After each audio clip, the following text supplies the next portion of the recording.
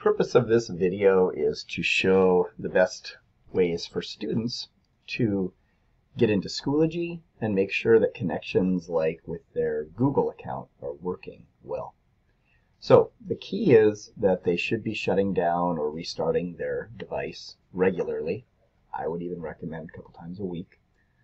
And everything should be accessed through my portal. So here I am in a student's My Portal account. I want to launch Schoology that way. As I go into Schoology, I'll see my assignments over there.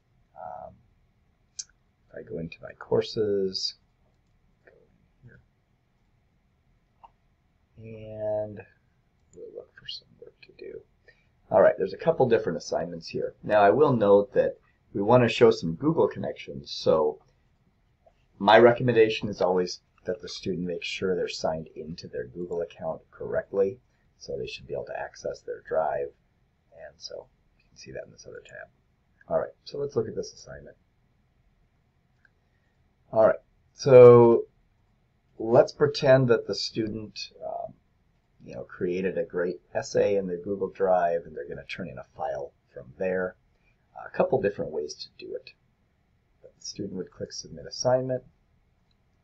And now uh, they could either go into Create if they have a link already to their assignment, and I'll show that in a moment. But one of the fastest ways is through Resources.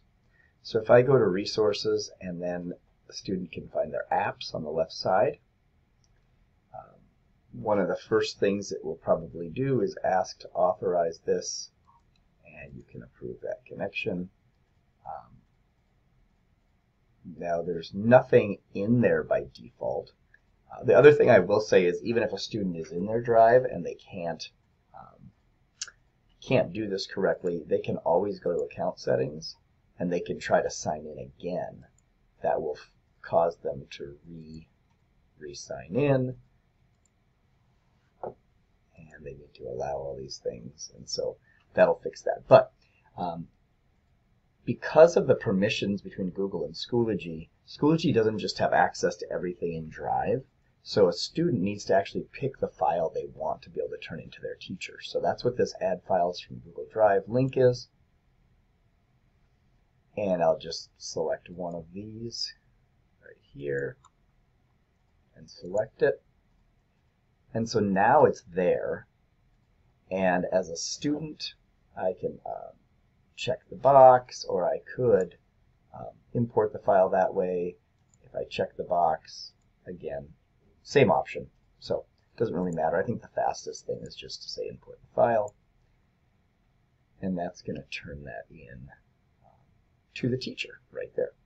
Now, that's a snapshot in time. If the teacher needed to see more of a link, what the student would need to do is go to that file and adjust the sharing. So they could maybe share it so that um, anybody could access this if they just um, go to sharing here and make sure that maybe anyone in Robbinsdale area schools is probably a safe way to do it and then they can copy that link. Um, they've got it. Now, if I go back to the assignment, pretend I'm submitting it again. This time you do that from the create area. And the fastest way I know to do this is just click in a link here. And so they paste that. They copy, they could say open a new tab, and they could say my assignment. So again, they had to copy the correct link that was shared with anybody in Robbinsdale area schools, and that that's going to work, and so they can submit that. And so then the teacher would be able to just click on that link and see that. So those are two ways you can turn in something as a student from Google on your own.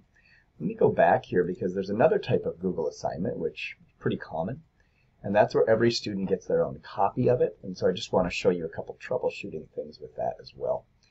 Google Drive assignment demo. All right. So teacher would give some instructions here. The student would click the My Document. And now, if they're not connected, it should prompt them. to sign in with Google. I'll go ahead and do that. Now this is a different type of connection than just to Google Drive.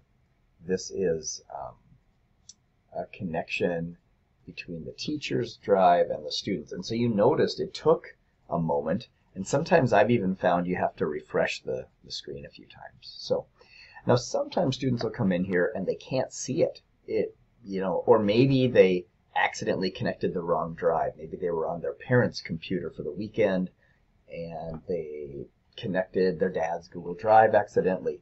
So what you can do is, can't see your document, click here. Um, that can prompt you to sign in again. And that's kind of a way to reset that connection. And sometimes the students will even see that their teacher needs to do that, and the teacher should do that.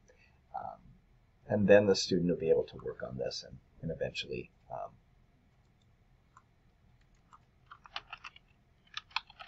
say, okay, this is done, turn it in, um, and now they've turned in this type of assignment as well.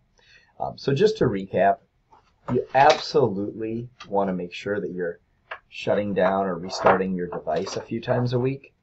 And you always want to log out of something like Schoology and make sure you're signing in through my portal. If you don't sign in through my portal, a lot of times those connections between Schoology and Google don't work very well. So hopefully this helps.